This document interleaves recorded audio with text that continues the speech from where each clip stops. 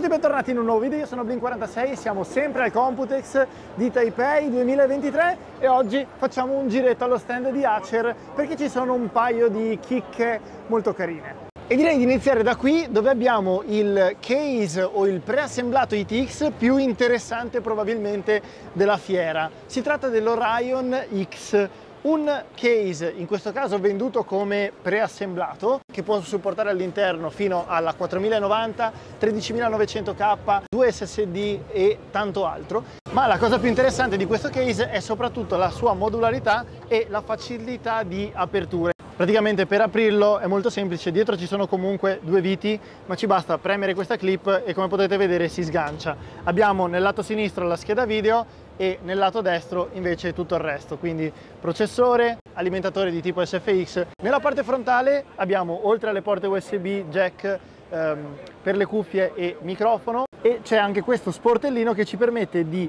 eh, aggiungere o togliere l'SSD in modalità hot swap. Eccolo qui, come potete vedere è con un enclosure purtroppo in plastica, ma ci permette di avere dello storage interno ed esterno allo stesso tempo. Quindi posso ipotizzare magari di avere un progetto, magari che ne so, su Premiere, DaVinci Resolve o che ne so, film, qualsiasi altra cosa e averli all'interno del nostro PC fisso e con un clic praticamente possiamo aprire lo sportellino, togliere l'SSD e portarcelo in giro. Dal punto di vista estetico lo trovo veramente veramente piacevole con questo design minimale con i LED nella parte frontale, tasto di accensione e un design abbastanza futuristico diciamo così. Nella parte superiore c'è questo accessorio che dovrebbe essere un portacuffie. Questo personalmente è abbastanza superfluo però vabbè è carina come cosa, praticamente si aggancia nella parte posteriore, poi può essere abbassato, rimanere in questa zona, possiamo metterci le nostre cuffie, però vabbè è un portacuffie, niente di esagerato.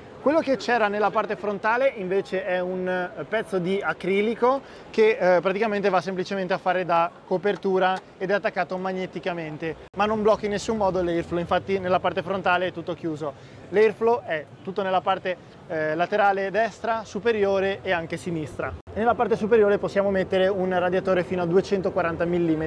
Qui possiamo vedere praticamente un esploso di questo case e come vi dicevo appunto nel lato sinistro c'è la scheda video a destra invece abbiamo il dissipatore, processore e tutto, ma cosa molto bella è che fortunatamente Acer ha deciso di mantenere tutte componenti standard, non c'è niente di custom, quindi eventualmente anche comprando il preassemblato in un futuro può essere upgradato, fatta manutenzione e molto altro. Questo a mio parere è molto importante, soprattutto su una macchina del genere, perché abbiamo visto tante volte configurazioni ITX simili a questa, eh, non tanto per il punto di vista estetico, ma proprio dal punto di vista funzionale, adattate però con componenti completamente custom che se si dovessero rompere non possiamo farci niente o dobbiamo per forza mandarlo in assistenza o se dovesse passare del tempo diventerebbe obsoleto. In questo caso invece si può upgradare tranquillamente hanno annunciato anche che potrebbe arrivare come standalone e quindi poi farci la propria configurazione. Da quel punto di vista mi piacerebbe davvero tantissimo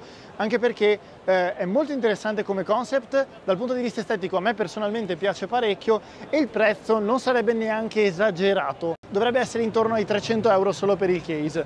Questa configurazione invece con 4090, 13900K e molto altro invece ha un costo decisamente elevato, parliamo di circa 4000 e qualcosa euro. Qui invece abbiamo dei display 3D che funzionano con l'eye tracking, praticamente noi possiamo posizionarci davanti e verrà riprodotta l'immagine in base a dove siamo. Ah, l'effetto 3D è ottimo, funziona però mi fa venire mal di testa, soprattutto con tre monitor, forse con uno ancora ancora, oddio, mi si incrociano gli occhi, tra poco cado per terra con le convulsioni. Ok, no, forse a questa distanza è un po' meglio, se ti avvicini... Eh, non lo so, ci sono dei momenti in cui sembra perfetto, altri invece che mi fa sbarellare un pochino. Praticamente sopra ogni schermo ci sono delle telecamere per l'eye tracking e eh, probabilmente fanno confusione, non lo so. Eh, però è veramente figo. Adesso che c'erano tutti i vari pezzi che uscivano, tipo il barile, io lo vedo qua, eh, tipo la scatola, le vedo... sembrano venire veramente fuori. È stranissima come sensazione. Su tutti e tre gli schermi sono 4K, però ovviamente andando a riprodurre una doppia immagine è come avere 2K per un occhio e 2K per l'altro. Figo, ma non mi ha ancora convinto. Come risultato è sicuramente ottimo, ma non mi ha convinto al 100%. Io di solito non ho problemi di motion sickness o altro, ma mi ha dato un pochino fastidio. Qui abbiamo altre due demo, una integrata all'interno di questo portatile che è l'Helios 3D 15 e devo dire che su un monitor solo non è male, Lì invece ce l'abbiamo come monitor esterno con un altro gioco da utilizzare con il controller dell'Xbox. Dalla fotocamera ovviamente non si riesce a avere la percezione del 3D, eh, però vi assicuro che funziona. Diciamo che con un monitor solo l'effetto movimento così eh, dà meno fastidio. L'unico problema è che, non so come spiegarvelo, se io muovo la testa a destra e a sinistra vedo l'immagine che fa così. Altra novità, ovvero questo, un router wireless, o meglio il primo router wireless ecosostenibile. Si chiama Vero ed è un router Wi-Fi Mesh 6E.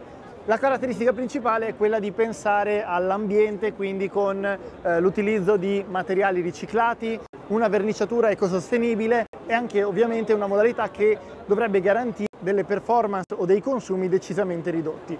Per tutto il resto invece è un tra virgolette classico router wifi cui il mercato è abbastanza pieno. Nella parte posteriore troviamo il tasto di accensione e quattro porte Ethernet di cui una da 2.5 gigabit. Quindi ottimo visto che sta iniziando a diventare sempre più disponibile. Quindi questo era tutto dallo stand di Acer, devo dire poche cose ma una decisamente interessante. Spero davvero di vedere il ETX da solo in commercio perché nonostante io non sia un grande amante dei case ETX, eh, quello penso che possa essere davvero interessante e mi piacerebbe farci una configurazione all'interno. Fatemi sapere voi che cosa ne pensate, da Blink è tutto e ci vediamo al prossimo video. Ciao ciao! Vi ricordo che è disponibile Blink My PC, il sito perfetto per essere sicuri di realizzare il proprio nuovo computer al meglio spendendo il meno possibile, realizzando configurazioni personalizzate oppure scegliendo tra quelle proposte in base al prezzo desiderato. Ovviamente non mancano le offerte in tempo reale, recensioni, articoli e il merchandise. Trovate il link in descrizione.